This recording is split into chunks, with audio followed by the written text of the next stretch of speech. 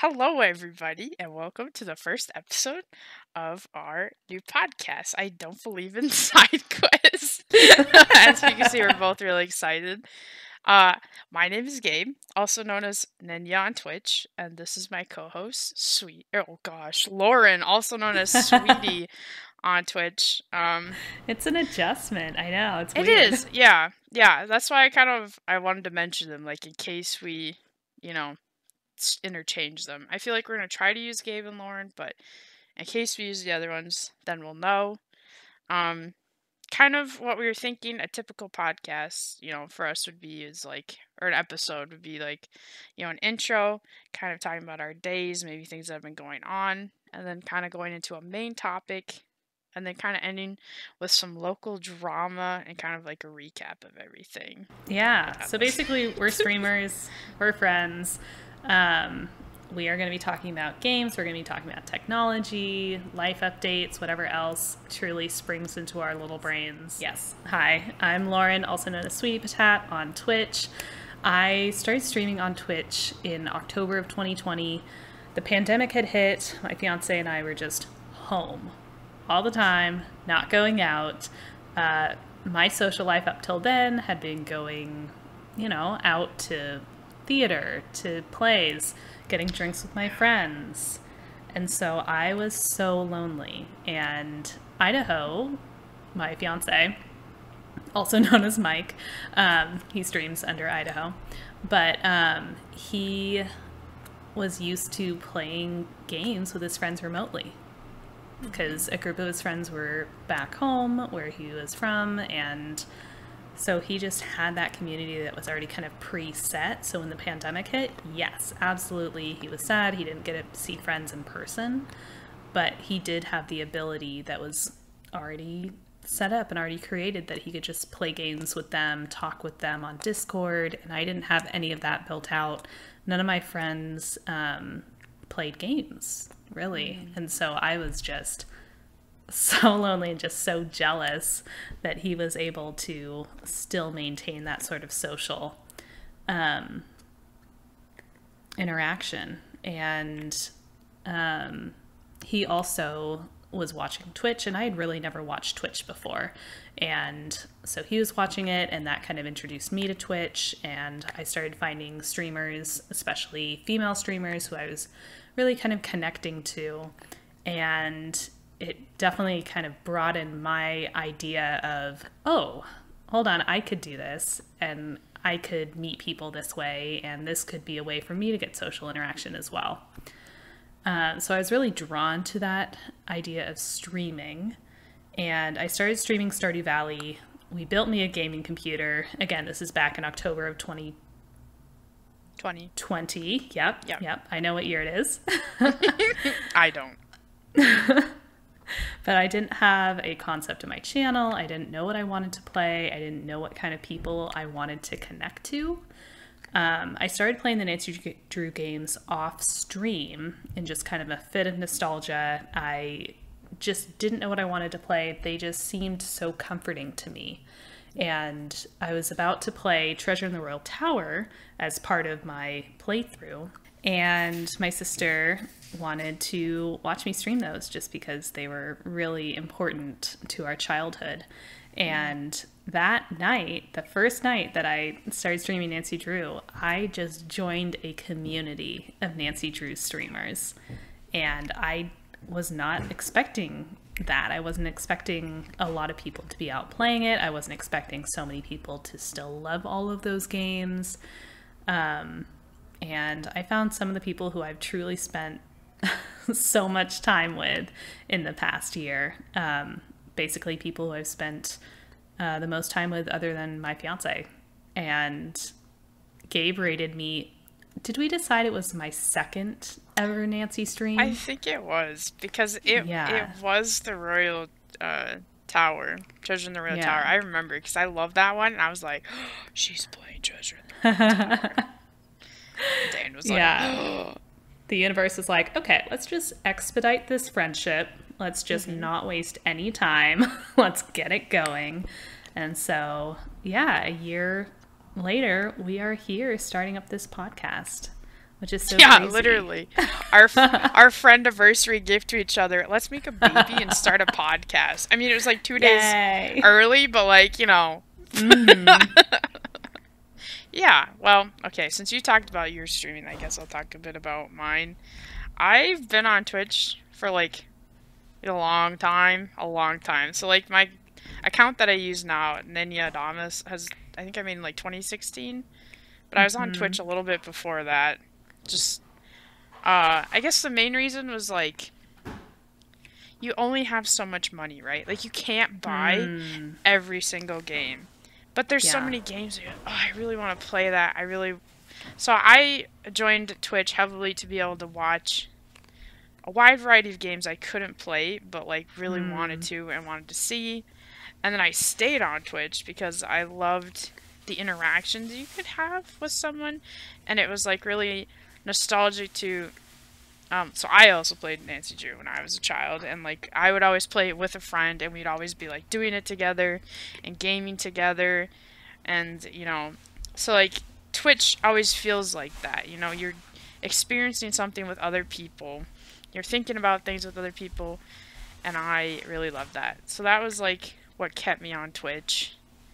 And then I don't really know why I made Nenya. It was kind of like I don't like my old usernames. I don't feel like they were me. They were just Mhm. like, you know. And so you can ask one of my best friends. I spent like four hours trying to figure out what I was gonna do, how I was gonna make it, or like what it was gonna be, the meaning behind the name. okay, And, so like- you've always been like marketing. I re- the yes. Yeah, well, because I was like, this is what people are gonna know me as. Like, I don't want to Mhm. switch it. I don't want to have to switch it. And I was like, so I have to Mm, like think about it.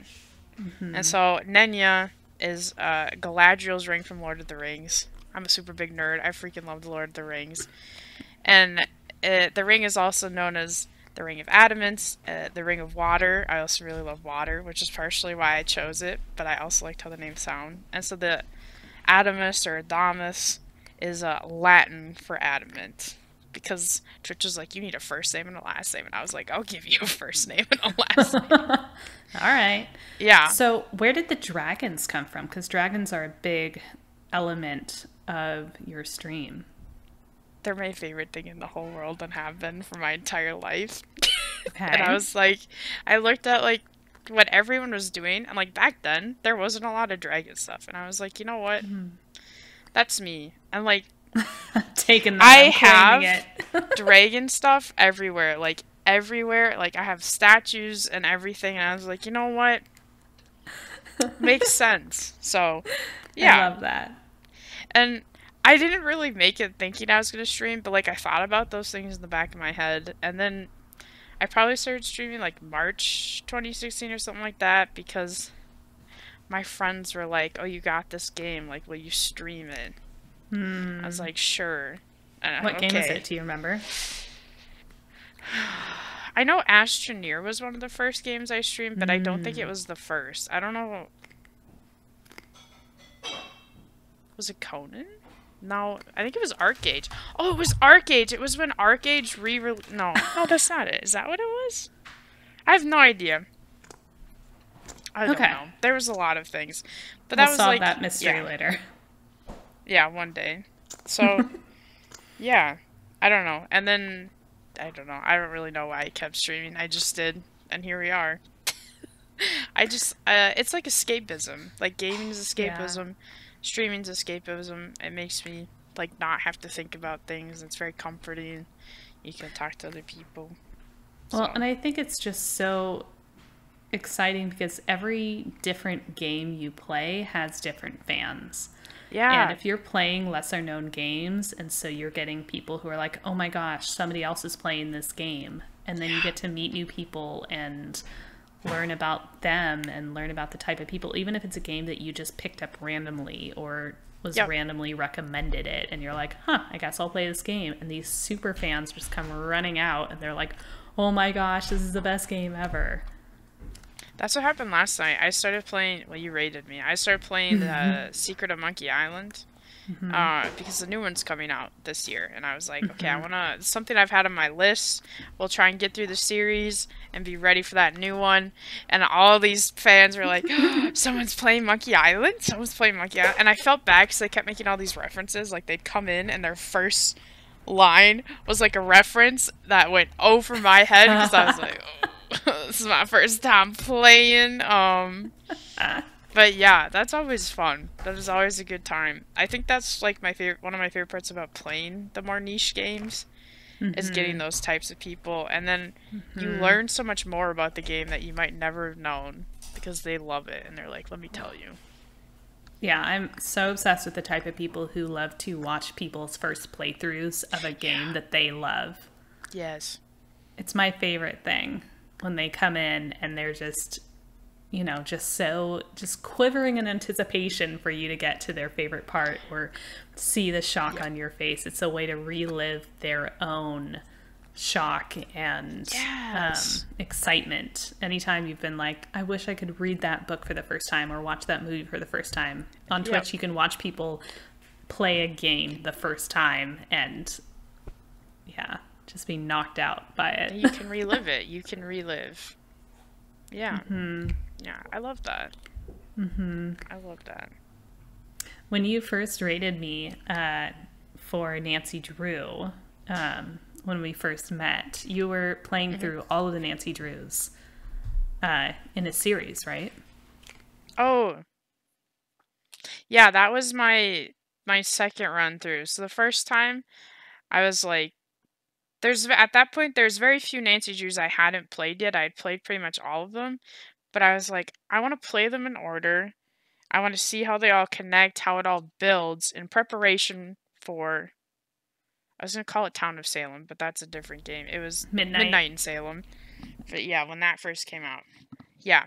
So I was, yeah, I was like playing through them all, and man, we were like, we were on the grind in like the last month trying to get through them all, and then Cause sorry, were you playing them all in one year? Yeah, sorry, yeah, yeah. I played. I think I played through. I'm trying to think. Did Midnight in Salem come out in October or November? Or was it December? I think it was October. I feel like it was October. I've I played through them in like a four five month period. I was like, oh shoot, the new one's coming out. I'm gonna do it. And we did it somehow. I don't know how and um yeah twitch only keeps your vods for so long and i didn't know you could like download your vods at that time mm. and i was i was like devastated i was like man i wish i would have kept these so then mm-hmm. when i mm-hmm. raided you i was working through my second playthrough which i still am working on of going through them in order because i wanted to uh, keep them, keep the vase, and be able to like put them on YouTube to be able to look at them later and like. And then I was like, oh, I also want to make the scrapbook that Nancy made. Like, I want to remake that, and I want to do all these things. So, yeah, we were playing. Oh, we talked about this earlier. I don't remember what I was on. I was on like the fifth one or something like that. I think when I had raided you, or maybe like the mm. third or hmm. fourth. Gotcha. And yeah, I was trying to spread the Nancy Drew love because there's there used to be like not a lot of people who streamed it, or if they did stream it, they sh- they streamed the Shadow at the Water's Edge. That was like the super popular one, and I was like, mm-hmm. you're not real Nancy fans. so like to see someone playing one of those and one of my favorite games, I was like, we're gonna spread the love to you. Yeah. Because the Nancy games. And now we're friends. Now we're BFFs. I feel like when even when I first started streaming them, you know, over a year ago, um, there were only you know a few people at a time playing, and I feel like either a lot of viewers decided to start streaming because they saw all of the rest of us start streaming Nancy Drew um, or a lot more streamers just fell back in love with them. So I don't know if it's just a whole bunch of new streamers who are streaming Nancy Drew or if people just made the decision to start. I think it's new streamers. like Mm. based off of the people I saw start streaming it and stuff and looking, I think it was new streamers, which I do think in turn also brought back the nostalgia for other people and then brought people who maybe Mm. did already stream be like, I want to play a Nancy game. And somehow for some reason when Midnight in Salem came out, like it was like big. Like there was quite a few really big streamers who I had never seen play an Nancy Drew game before. They were like, "Oh, I'm gonna I'm gonna play that. I'm gonna stream that." And I was like, "Okay." And I felt like that also Mm. helped. Definitely. Yeah, every once in a while there will be like a really big streamer or, um, you know, the girlfriend or wife of a really big streamer will be playing a Nancy Drew game for Mm-hmm. nostalgia. And it's just like, oh, okay. So that's the person who's Yeah. streaming Nancy Drew who has, you know, 10,000 viewers. Got it, got it, got it. Okay, I guess let's talk more about like the podcast. Like why are we making this podcast? What made us, you know, get here and why we did it? Um so I've been thinking about and wanting to make a podcast for a while. I feel like I have a lot to say, a lot of things I could say, maybe a lot of things that could be beneficial to others, but also just like I don't know, I like being able to nerd out. And uh I was looking for a partner, someone, a partner in crime, because I didn't want to go on this, you know, journey by myself. And like, I don't even know why I was like, sweetie, you want to do a podcast? But like, out, I one day, just out of nowhere, I was like, or sorry, Lauren, Lauren, you want to start a podcast with me? And you were like, I guess. I mean, why not? hmm And Yeah, that so, was exactly I know kind of my. I mean, I thought I like mimicked you pretty well, but you know. uh, so like my, I guess, personal reasons and like kind of what I want to do with the podcast is like, you know, kind of having a place to be able to vent, to be able to talk. Um, since we are like a mainly like gaming kind of podcast, to give like the female perspective on gaming and like what it's like to be a female in the gaming culture and maybe making a difference for the better for females in the gaming.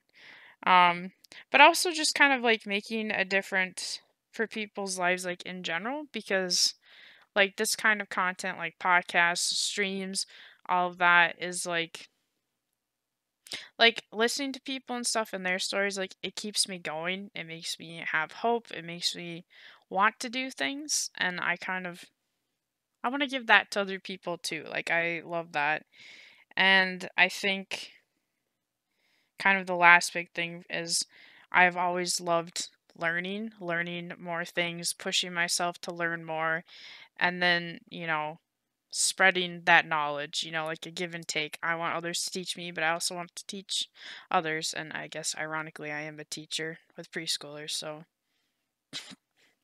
um, would you like to share your personal reasons? You know, why you said yes. yeah, I have also thought about uh, participating in uh, co hosting a podcast for a while. Um, I think it's part of the way that I stream. Um, I definitely love playing the games, but I also love just taking a tangent off and talking about concepts and themes in the storytelling. I uh, spent a lot of time in theater when I was younger and in playwriting classes and I always loved English and so I love scripts and I love media and I love building out stories. It's always going to be about this story for me. There's so many um, and we'll talk about this later in Nancy Drew's segments. But the story is always the key part for me because you can have great puzzles in there, but if the story is not if it doesn't make sense, if it's not clear, if the characters are not developed up to a certain point, then the whole game is going to fall apart. And so um, I spend a lot of time in my streams talking about that and talking about um, how I feel about that and talking about how different concepts have been used better in other areas and other, you know, tangents that would be good um, kind of more in a podcast setting necessarily than on stream. They're also fun on stream, but I think it also makes sense to translate them over into this. Well, and doing this, like, you can research.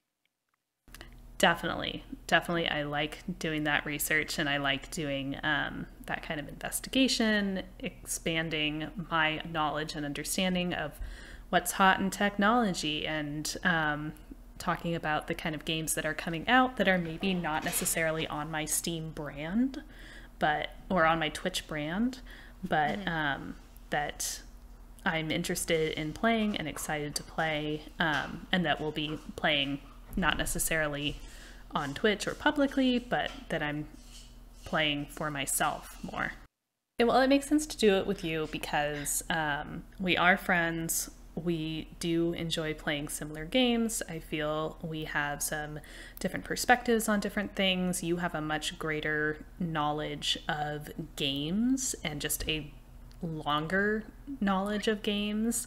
Um, so I'm uh, I have a lot to learn about the gaming um, history and that sort of thing from you. And I just yeah. love to talk. Aww. So I'm very happy to come in and learn and um, chit chat about whatever. I also feel like, I don't know, like we have really good chemistry, and I feel like we mm-hmm. can bounce back and forth off each other.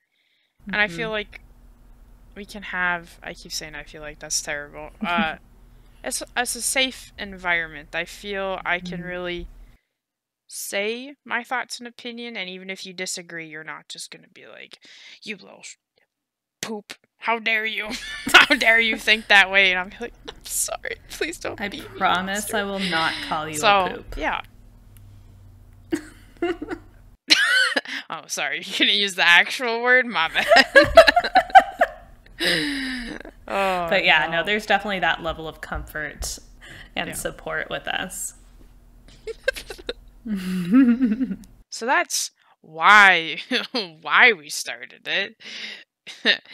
but why did we name it what we named it? And I'm not going to take any credit for that. That was all you. all the names I came up with like such basic basic beach bland names. Like I had I had nothing. You had a couple of sweeties, which was very nice. I th- I mean, I don't know. It, it well, it was cute, but you definitely hit it on the nail when you were like, or the nail on the head when you were like, uh, we should probably get something that's like more pointed to like what we would be mm. talking about, or at least kind of like the topic we'd be covering. I was mm-hmm. like, eh, yeah, you're kind of right. so, yeah. So, as you can tell, our podcast is called "I Don't Believe in Side Quests." So um, there there's some there's some reasons behind this, right? So just at a basic level, as the main character in your own story, you have an ultimate objective. So it's saving a princess, finding treasures, defeating final bosses. Uh, these are obviously typically in games, although I suppose it could be true in real life as well. Um, but we all have these ultimate goals. We have series of tasks we have to accomplish that are going to actively move us closer to achieving those goals. So this is our quote unquote main quest. And then along the way to those own goals, we run into other characters or are given, um, you know, a note in passing, or we are somehow directed to um, other people's objectives. And so we can jump in to help those other characters rescue their own princesses or find their own treasures or defeat their own bosses. And these quote unquote side quests do not directly move our own story along, they're super optional for us to join in. So, the I don't believe in side quests concept has kind of two main parts. So, part one is basically we are all side characters in each other's stories. So it's not that we're just embarking on petty little side quests. We have agreed to briefly step into someone else's story as a helper. Out of the goodness of our hearts or the desire for a really good reward, we have stepped back from that main character spotlight and we are willing to take a supporting role so someone else can achieve their ultimate goal. Um, second, and personally, I feel is the more important part of this reframing of side quests is that we learn so much when we spend the time helping other people. In games, we're going to gain experience, gold, or unique weapons that may not be super important plot plot point wise, but they do pave the way for our success later on in the game. And then in life, we're learning about how other people are seeing the world, what they're finding important, and that may change our perspective and then also that way paves the way for our success later in life. So the game or our parents may see us pause or veer off the linear path to our otherwise stated ultimate goal and think we're wasting time. But they aren't taking into consideration the fact that most of us can't tackle our ultimate object head on as fast as possible. Like, most of us can't just say, okay, I'm just going to follow the main quest points and fight the ultimate boss. We need to take these side quests to get experience. We need to get better weapons. We need to um, gain broader skills. And so, calling those side quests is just, um, it just seems silly because even though they're not necessarily actively moving the plot along, they're still super important and integral to our growth as characters and also as people. So, kind of, I know that was kind of a long explanation, but the key takeaway is that smaller goals that allow us to become more prepared to tackle our big goals are actually really necessary. Calling them side quests does that does them a disservice. Um, only experts can really stick to the main quest and come out on top. Most humans need some breathing room. Calling things side quests doesn't necessarily make sense when they're more of just they're kind of expansion quests. Yeah. Yeah. Yeah, well, it's it's it's a fitting in that right is it's a reference to gaming and we're going to be talking about gaming, but also, you know, how we're tying it to real life and, you know, the importance of all that. So, it it's fitting. And I think we're going to talk about both. Like we want to be able to talk about many things mainly focused on gaming, but just life in general and you know whatever else so it's good it's good um you talked a little bit about i think kind of like why you gamed you talked more so about your t- uh streaming but i feel mm-hmm. like we should you know talk about what got us into gaming well why we started gaming so uh, i could start yeah. you could go first whichever you'd like no rock and roll Rocky roll. Okay. um, I had the gamer gene from the very beginning. mm-hmm. Mm-hmm. Um, my dad was a, a gamer. Um, ironically, he was friends with some of the people who worked on uh, Doom and like who that helped create Doom. Oh, very cool. Yeah, and like uh, he knew a bunch of people who like really loved that game and played that game, and he was just like, "It's not for me." he didn't. he wouldn't play it, which I think is so funny. I was like, "All right, okay, kind of, kind of a dick move, but you do you." Uh, so, like when I came to be his little bean, he mm-hmm uh, would play Hexen, which I don't think was age appropriate. Like I would sit with him while he would play it, and we'd like play it together. Totally not age appropriate. Nothing we did together well, was age appropriate, to be honest. Oh, that sounds really bad, actually. not like that. Wait, wait. I was a very sick child. I was home a lot. I was very sick. He was the one I was with.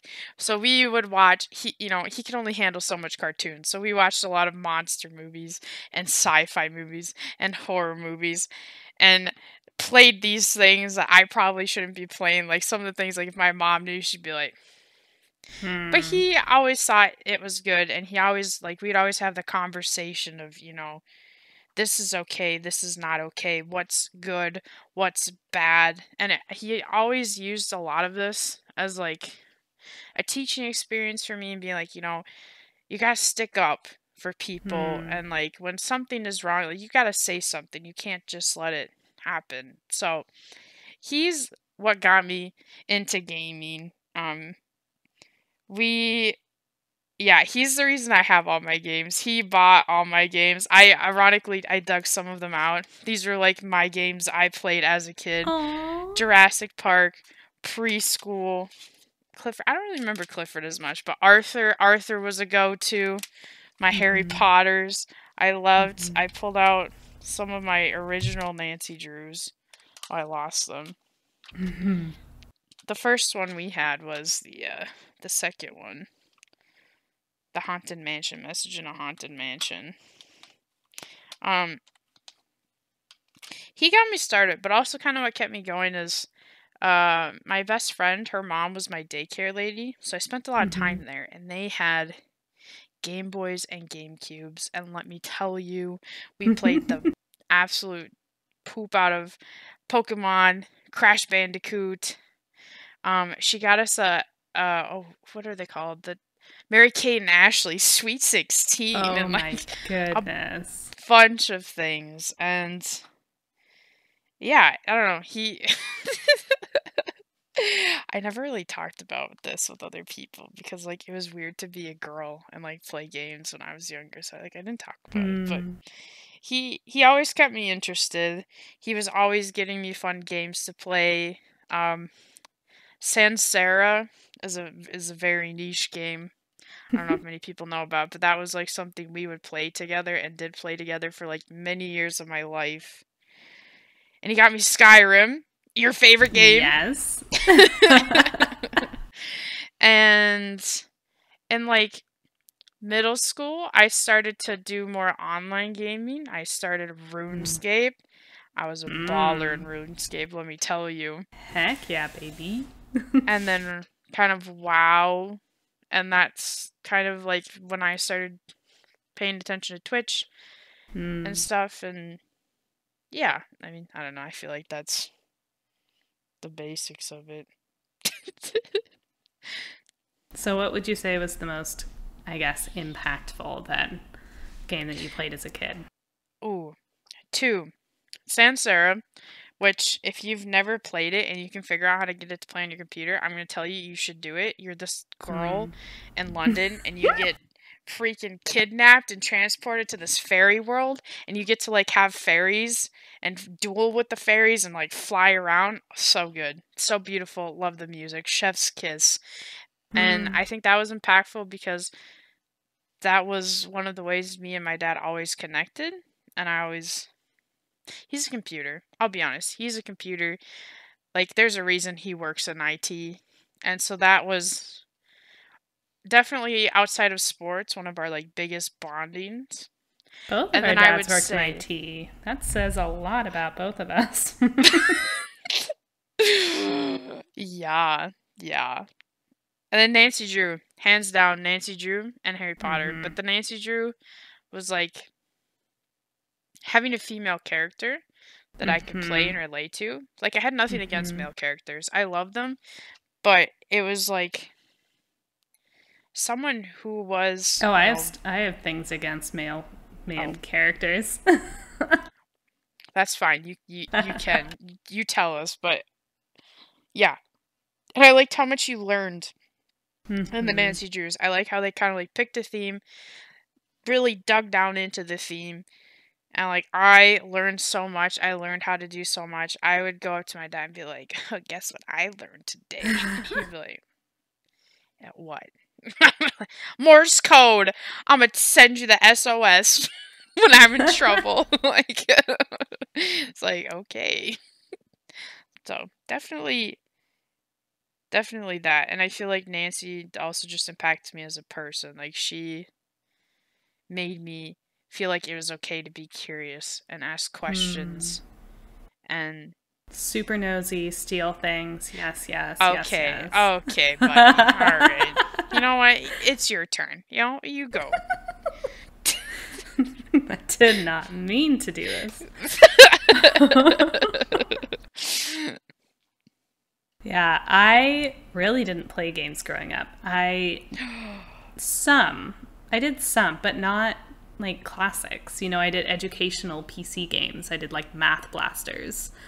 Um so, and oh, Franklin. I don't know if you ever played Franklin games, Franklin the Turtle. Yes. Did you do you ever Mhm. play this? You got that type to learn three? Yep, Heck absolutely. yes. Heck yeah. But yes, any of those kind of educational games my parents were all about. Um, so, you know, that didn't last super long. um, as we were growing up, we were kind of grew out of those fairly quickly. But my mom grew up reading Nancy Drew books. I have some of her books from when she was young that are in my bookshelf with my collection of Nancy Drews that are just so cute. Um, and then she discovered, you know, Nancy Drew games were coming out on CD-ROM, so she gave a few to me and my sister. And we had Treasure in the Royal Tower, Message in a Haunted Mansion, The Final Scene, and Secret of the Scarlet Hand. So those were kind of our core four that we owned and we played a lot.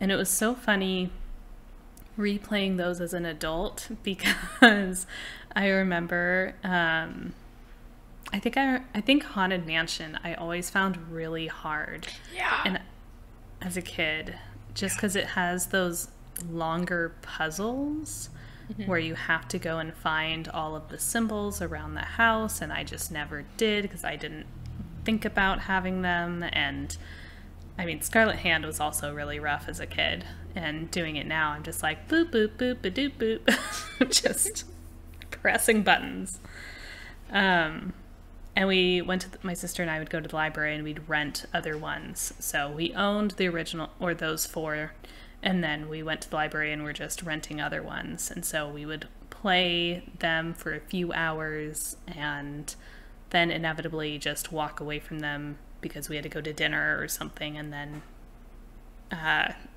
forget about them until we had to return them, and then we'd have to re-rent them, and then we'd have to start over again, and so. It was just very confusing. Um, I think about that sometimes, like playing through them. Like, how did we do this as a kid? Yeah, how Mhm. did I solve any of these things? Because sometimes as an adult, Mm-mm. I'm like, whoa. mhm. Yeah, well, and I, yeah, designing games for kids that also can work for adults. I'm just very impressed because you do have to Mhm. have kind of, you know, simplistic but also engaging enough. And because most kids, you know, probably are playing with older siblings, or you just want the kids to be pushed to really think, really use their brains. So playing the Mhm. Nancy's was Yeah. really good for that. Other than Nancy Drew, my sister got an Xbox as I was going away to college. It was kind of my parents like, okay, well your sister's leaving you, so we'll get you an Xbox. Um, and so she played Halo, and um, I think at that point we got Skyrim. So basically, before I started streaming, before I got my gaming computer, I had played Nancy Drew's two of the Halo game, three of the Halo games, um, Halo One, Halo Two, and ODST, and Skyrim. Those are pretty much the games that I knew. I actually have a recommendation for you. I just thought of that since you love Skyrim so much. So Mhm. this game came out like a month after Skyrim, which I think is why it didn't get as much as the recognition as it should have. Like I think it's a very underrated game, and that is Okay. Kingdoms of Amalur Reckoning. Now, they remastered it. Mm. So, uh, they remastered it because the company was finally able to buy the rights to it. I'm hoping they're finally going to turn it into the franchise it should have been. Uh, and they just did a new DLC quite uh, quite a few months ago actually. it was like I think it came out September, October, November. They had done a DLC. But like this it's a little more fanciful maybe than Hmm. Skyrim, but like it's it's so it's so beautiful. I think it's so beautiful. It's so much fun. I love the story.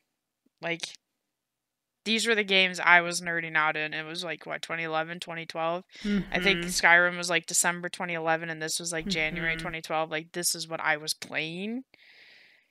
until I think Witcher 3 came out and then that's like that's what I was playing.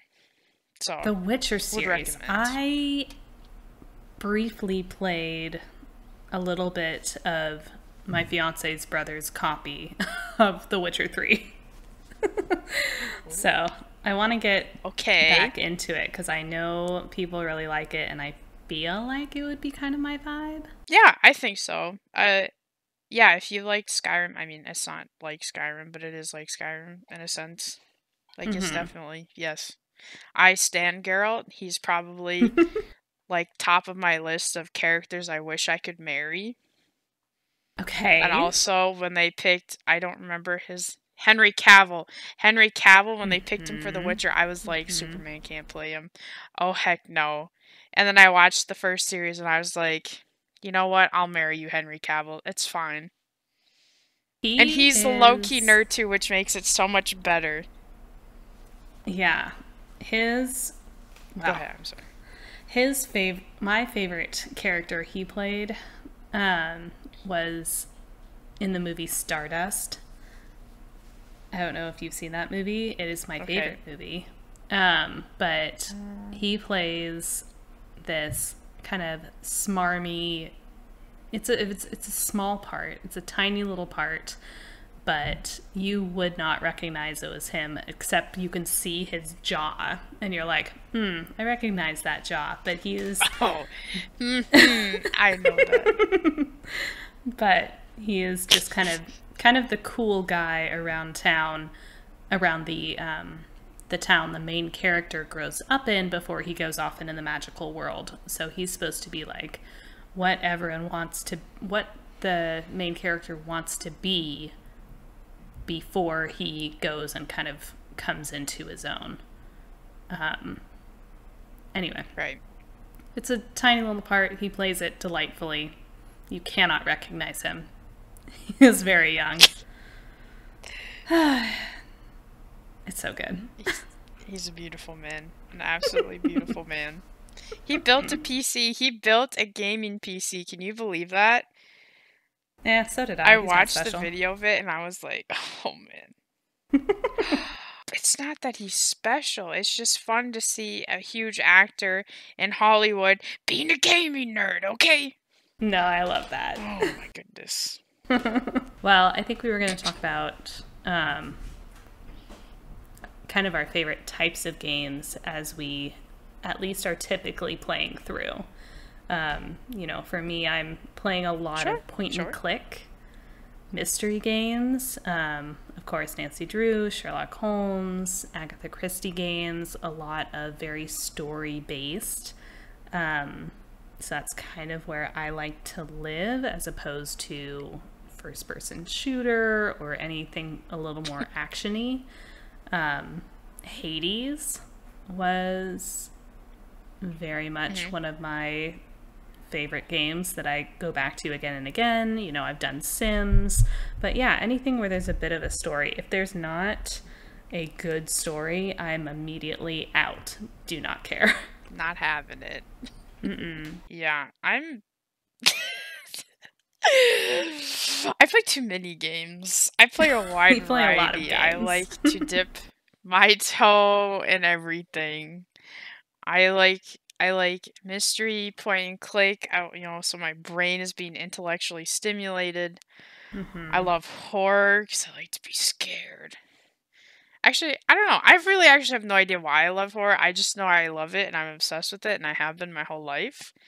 I Hmm. freaking love sci-fi, anything sci-fi. Is this because of the movies that your dad and you watched when you were little? Honestly, I think so. They they Mhm. probably seriously tainted me as a child. Like if we really think Mhm. about it, yes.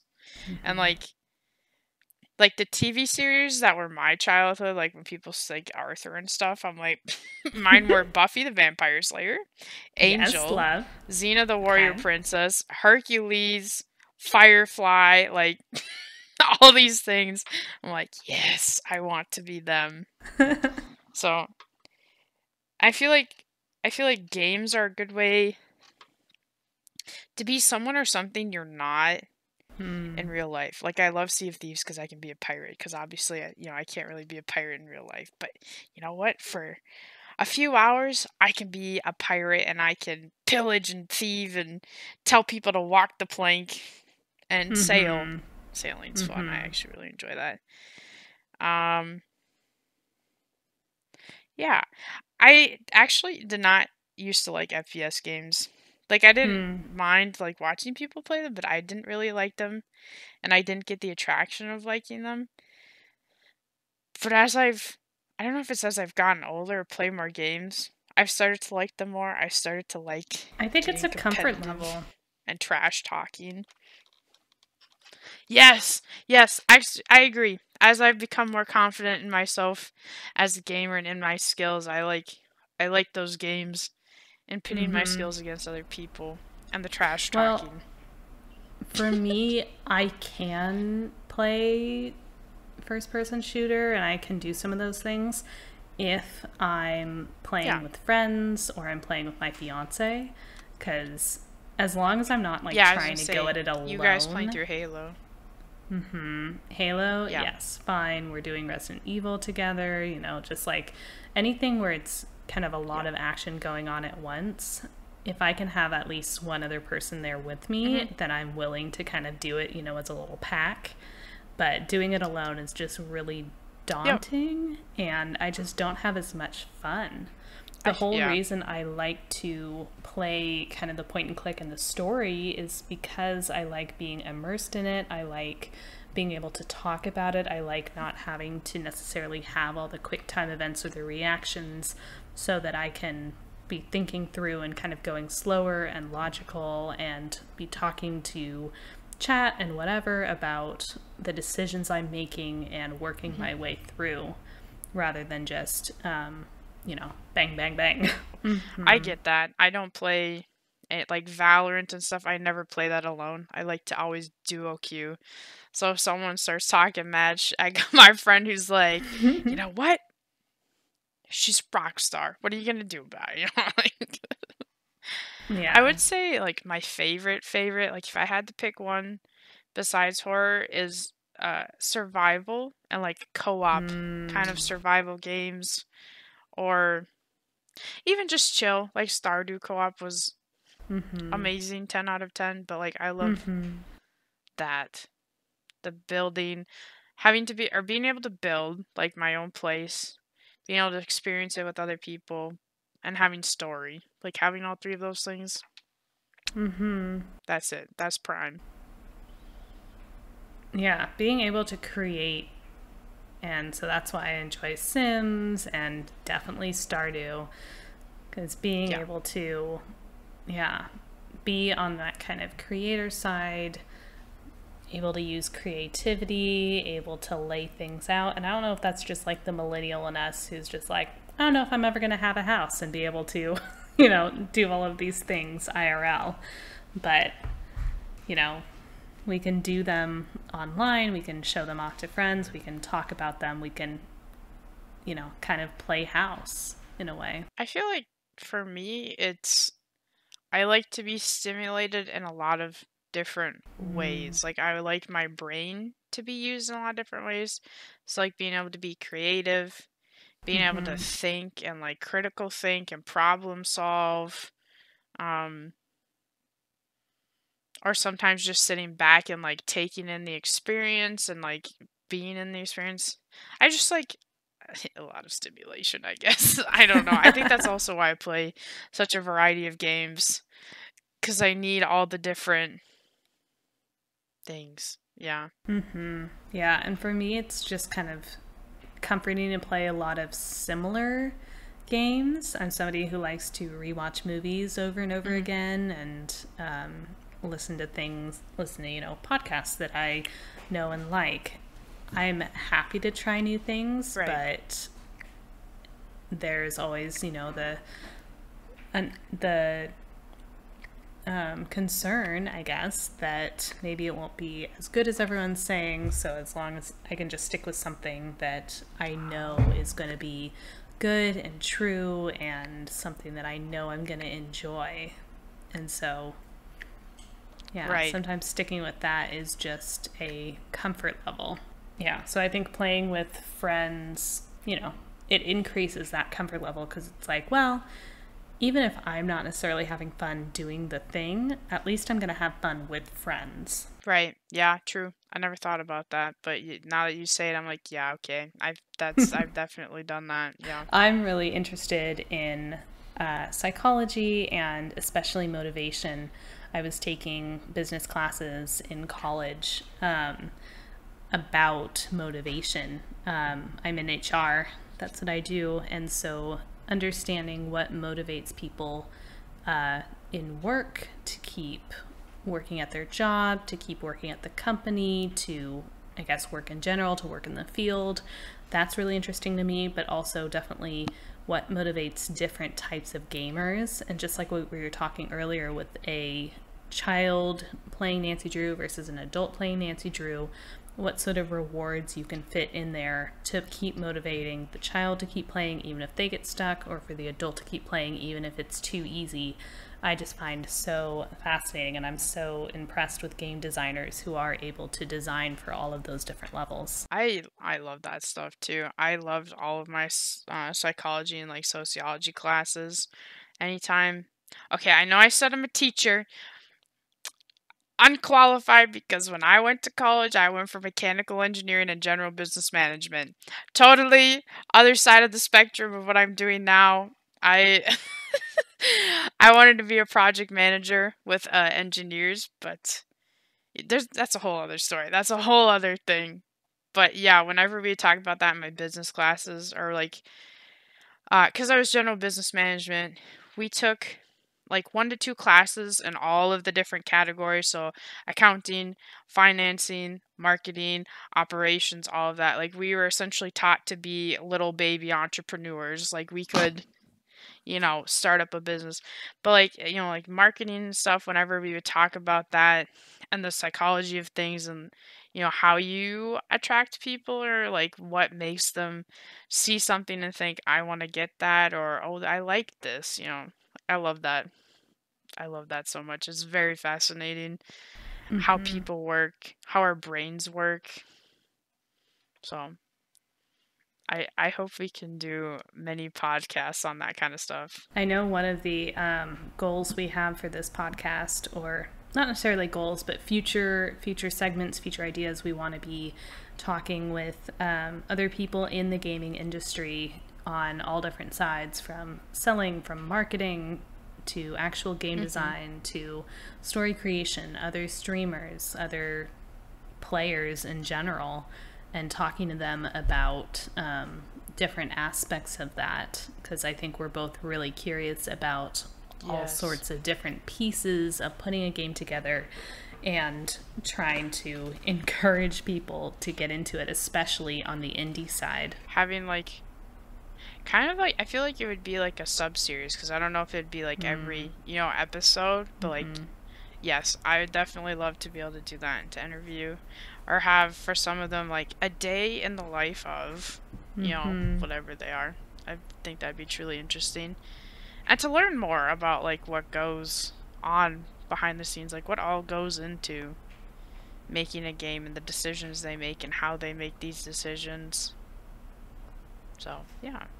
I'm excited Yeah. for that. One day. Like you said, we have a lot of learning ahead of us on this journey um, about a lot of different aspects of the technology and gaming industry outside of our own experiences, which we're really mm-hmm. excited about. Yeah, because it's huge. Like gaming culture, gaming industry.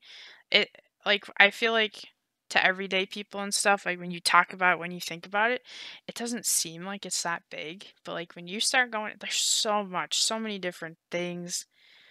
It it blows my mind. Like even being a part of it and knowing it, every time I actually stop and think about it, I'm like, wow. And the impact it has on so many people's lives Mm-hmm. is is crazy.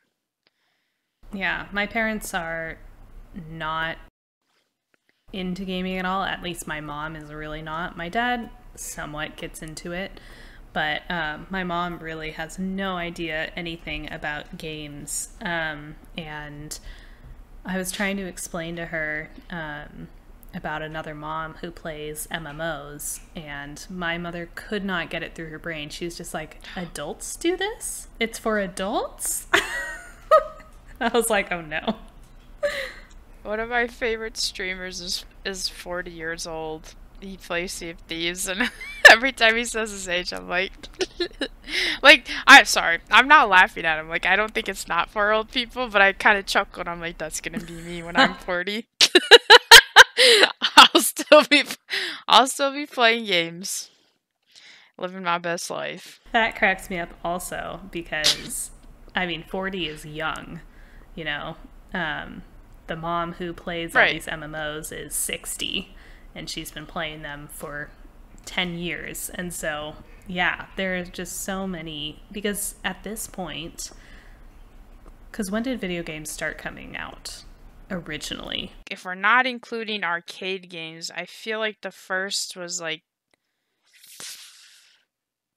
80s, right? Okay. 70s or 80s? Because I feel like 60s, 70s is when we started getting, you know, like arcade and like Pac Man Mhm. stuff. Yeah. So at this point, you know, the vast, vast majority of adults have grown up with some semblance of video games.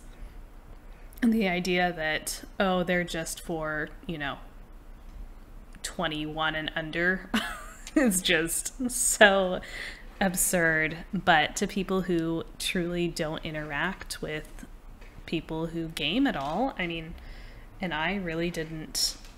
Obviously, my fiance and his friends game, and I was doing marginal gaming, but I really had no idea, truly, until I joined Twitch, of what on earth was going on.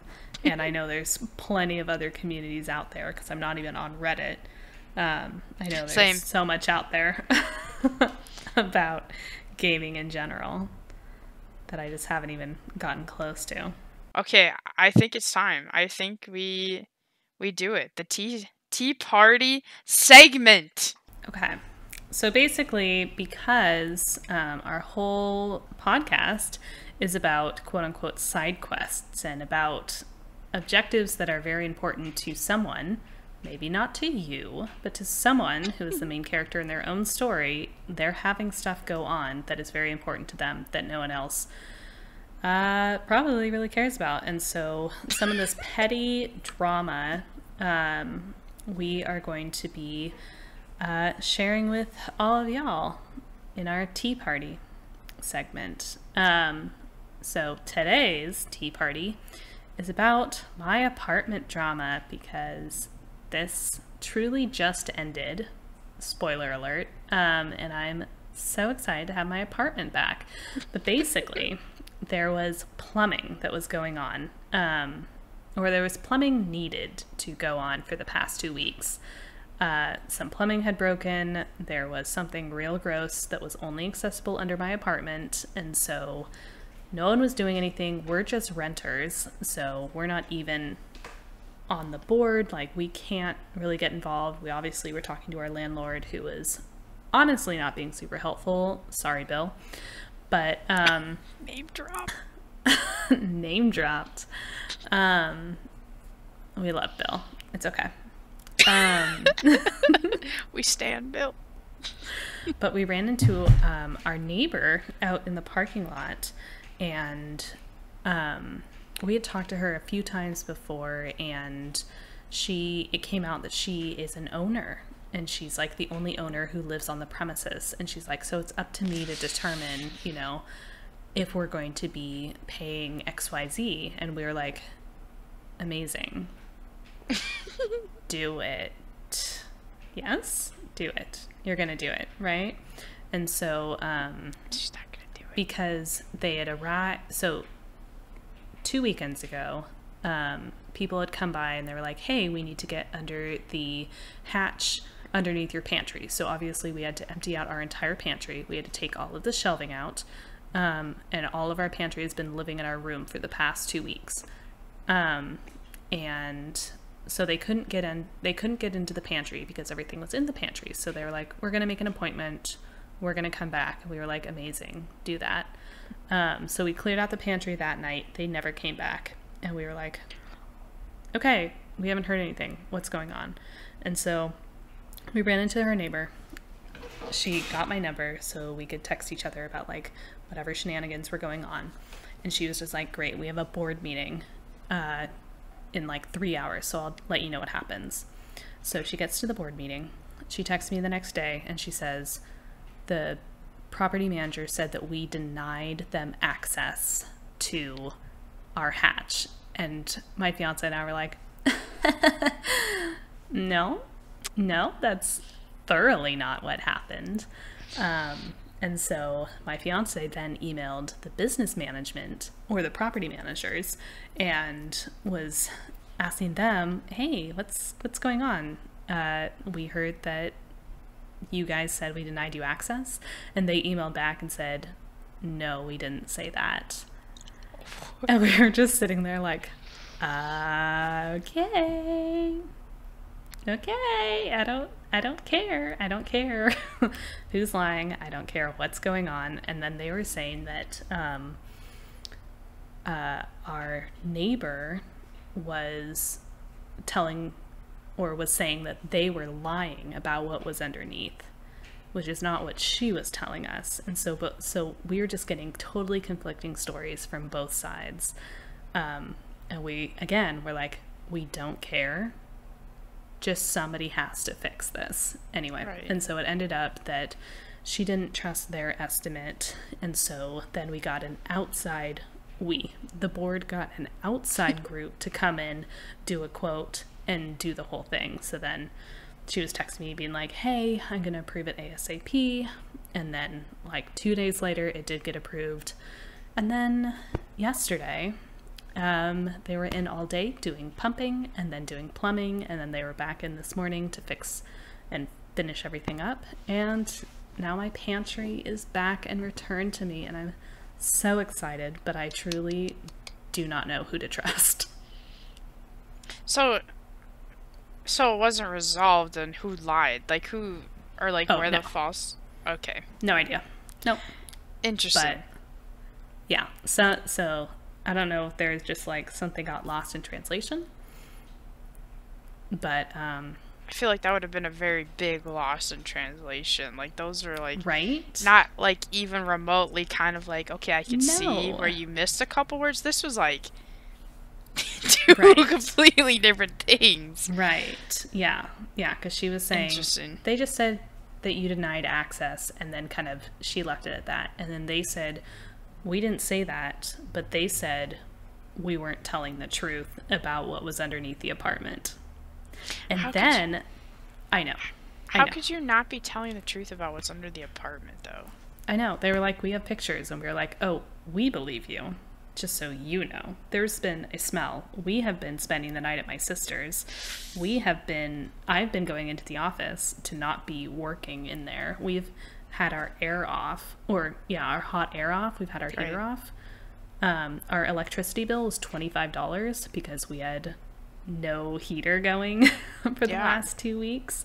Our door's been open, so it's been freezing every time we've been home just to like let things air out. Obviously, we've like had our bedroom door closed and other doors mm-hmm. closed to like keep the smell out. Like there was clearly stuff happening, and yet no one was doing anything. No one was telling us what was going on. It was just like so annoying. So how long did this all take to get resolved? Like I don't remember. When did this first start happening? So the guys came to try to get into our hatch two weeks ago, but apparently stuff has been starting to go down there for the last six months, and oh, like Oh, it must have just been like frozen in December. Because I had been like getting kind of like little smells like underneath some of the cabinets, and I was like, "What is happening?" But my fiance was never around to smell them, and so it was just like, I don't know, I'm not involved. Right. And so we never really thoroughly investigated it, and I just kind of was like, hmm, okay, whatever. But then other people in the apartment were complaining, and then um, yeah, even our next door neighbor was like texting me and she was like, Yeah, the smell's like super bad today. And I was like, Hmm, sounds like you should approve plumbers. But I feel like I'm I'm being really dumb right now. Why it was water, right? Why was water? No, wait, what was it? it was not water, I regret to tell you. Oh, Literally, my apartment has been smelling like poop in various levels for oh, the past two weeks. oh, oh, okay. I'm re- I'm sorry. I'm maybe I'm dumb. I don't know why I thought it was water. I was like, oh, that's even okay. Oh, I wish it was water. I thought it was like water, and then you're getting like the mold and the rot. That's what I thought. But Mm, okay. that would also have sucked. Absolutely. oh, yikes! Yikes! Yeah, yeah, yeah, yeah. So it's because when they first came to tell us, we were kind of like, oh, that would explain some of the weird smells we have sporadically been smelling. But literally, then, since they've been here, like, it has gotten, it had gotten so much worse. Like, yesterday morning, right before they came, it smelled the worst it ever smelled. And I was just like, holy cow. Ugh. Was it just your guys's, or was it? It was the Other- problem area was not even our pipes. It was our upstairs neighbor's pipes. It was located, but the the um, the area they had to pump was only accessible through our hatch underneath our apartment. So you're getting punished for somebody else's. Ah, that Yeah. makes it so much worse. It's not even like your stench; it's someone else's. Yes. my germaphobe.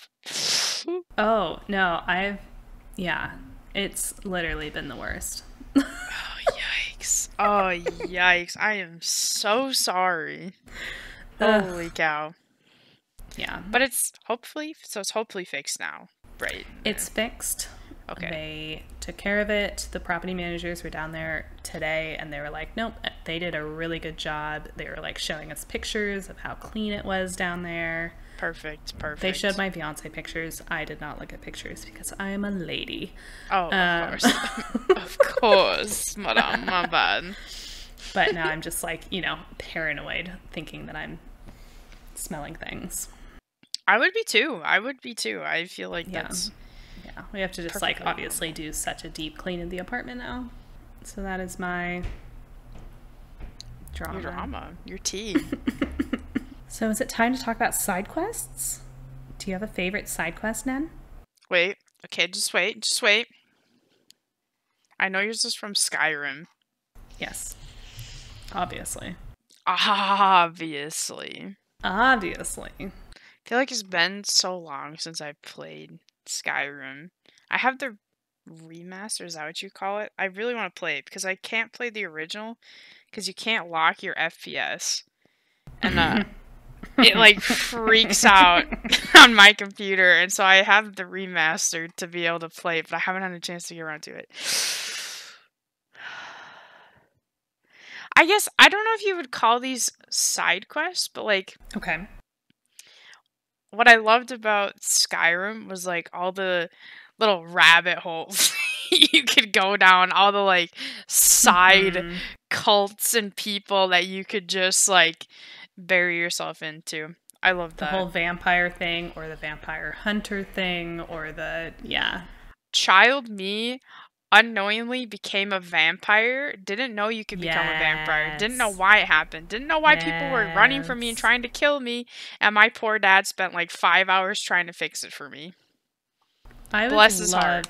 to become a Skyrim vampire. Well, I I've- didn't. I didn't get it. I didn't understand what it was or what it meant. But now that I get it, I can appreciate it. I have the vampire uh, pack, I guess, expansion. Don't know for Sims, and Oh yeah, yeah, yeah. I have always done the magic and forgotten that you cannot be a wizard and also a vampire, which I think is very rude. Um, so every time I'm just like, oh, yeah, I want to start learning magic," and then they're like, "Great." Well, you do magic now, so you cannot be a vampire. So I've never been a Sims vampire, even though I have it, and it is one of my truly ultimate goals. You should do it. Well, part of it is like I think in I'm not an expert on Sims games, but I'm pretty sure in some of the past you could be hybrids. Like you could do multiple things, but for whatever reason in Sims 4, they were just like no. Cuz I someone was talking about the new scenario in Sims or like one of the new scenario things they've been doing, you can be a plant sim. They brought plant sims back. And she was talking about how she used to like to be a vampire and a plant sim and Oh like God. how it like clash because the plant sim needs sun, but like the vampire can't go in the sun. and so I yeah. Yeah. I don't know why we don't have hybrids in Sims 4. But I am a Sims are. player who just like works my sim to the bone. I'm always just like, girl, if you are not up there and like getting t- level 10 on every single um, skill, if you're not constantly doing things, what, are, you doing? doing? You're a waste of my time. And I think it's a problem because I only have one sim going at a time. Like, I think I need to make a family and then just like pick people up as I want to rather than Yeah. just hyper focused in on one person being like, mm mm, nope, not like that. Stop that. I definitely overmanage my Sims, and my sister has always Mm-hmm. judged me. And she's like, I don't get why you feel the need to tell them all these things. Like, you can let them live. And I'm like, well, you kill then your what's the Sims. point? exactly. What's the point? Very true. What is your favorite side quest, though? Please tell us your Skyrim side quest. We're ready. okay. Okay. so my favorite Skyrim side quest is called Laid to Rest. And it is the one where you find this burned out house and um, you hear about the town that uh, this man's wife and daughter burned to death and then he married another woman the next day. Oh. And so you find this little ghost girl, and she's just Yep. like, I want to play hide and seek, me, me, me, me. And then um, it turns out the woman who married um, the father is a vampire, and so she's like, you know, done some mind control or whatever, and she um, uh, vampired the wife, I guess. Sired. Um, Nah, no, she just murdered her, I guess. Um, Oh, aren't you saying she turned her into a vampire? no, I'm saying she. No. Oh, then she just murdered her. She Okay. murdered her. She chomped Yeah. her jugular. Okay. She chomped her. Yeah, she chomped her. They're cute. Mm-hmm. Uh, but she chomped the wife, and they like. And the vampire's uh, assistant vampire, I guess, tried to turn the child into a vampire, and so the they had to burn down the house to like cover up those bodies, basically. Anyway, so then you have to fight the vampire, and it's just this whole thing. But it's just such a well laid little story this mm-hmm. little drama where you're like, oh, you have to solve this murder crime and then you have to do this other thing. And it just really just lays out from beginning to end. It has a bit of tragedy, it has a little bit of humor and just like ridiculousness in it. Um, it's just, personally, I think it's perfect. Well, and it's more than just the classic side quest. Please go get me ten chickens. You know, I. But when you started Mhm. describing, I know, I know what you're talking about. I remember Mhm. the burnt house and the little girl I play it every single time in Skyrim. Every single time, I'm just like, whoop, gotta do it. Hunt it down. You're like, this. Gotta go get the ghost. Mm-hmm. And free the little girl ghost, and it's just a whole thing. Yeah. Well, and like thinking about it too, right? And the whole thing of our podcast, like, what a joke that that's a side quest, because like that's like a big deal for someone. That's what I'm saying. Like- for for people in that town, like that is a main monumental. quest. Like the whole yeah. Trying to hunt down like who murdered this wi- this woman and child and then he married her and then this whole thing happened so it's just like drama drama drama it's a whole thing like you could make an entire game just focused on that and that's i mean it's so perfect because it's a full story beginning to end Mm-hmm. and Yep. you as your character have just wandered in and are put in charge of the investigation because that's what you're good at but yeah wrong place, wrong time, right place, right time. Who knows? Mm-hmm. mm-hmm. yeah, I like that you get closure. I like when you do get closure. I don't Yes. like open ended. Well, and there are so many Skyrim side quests that are like that. Anything Yeah. about love, where you get to say, okay, well, I can decide if I want to give this guy's letter to her or this guy's letter to her, and I can kind of choose my own adventure. Yep. Um, yeah. And, you know, from her perspective, she's like, well, I've got these two lovers, and this one's being nice to me, but then this one's really interesting, and so on and so forth. And, but I think my favorite, like, short little kind of side quests in Skyrim are when you are running around trying to steal beer for people. and they're like, mm, I would like an ale. Go acquire one, thank you. And you give it to him, and then he, like, gives you something. It's just fun. But it is his primary objective. Yep. Must find beer. You have found a helper who will bring you beer. Excellent. Who doesn't want to help her who will bring you beer? I mean, honestly, we are truly in their world. we are just so excited um, to be doing this podcast, to be talking about um, everything tech, gaming, women in gaming, getting to know each other and ourselves better. Um, we would love if you have anything to contribute to the Tea Party, send it in. We've got no side quests at gmail.com. You can find us at no side quests on Instagram and Twitter and uh, YouTube. Yep. Links links will be in the description. I'll make sure to put that all down there. Yeah. Yeah, we have been nerding out about this. Like every time we talk about it, we get all like like giggly and like we we've been power brainstorming and thinking about and having honestly having so much fun. And Mm-hmm. like you said, no side quests pretty much on everything. YouTube is I don't believe in side quests, but all the other stuff was pretty much no side quests. We'll put links in the description. Um, you can be found. Yes, I can be found at uh, sweetie underscore potat, S W I. S W E E T I E underscore P O T A T.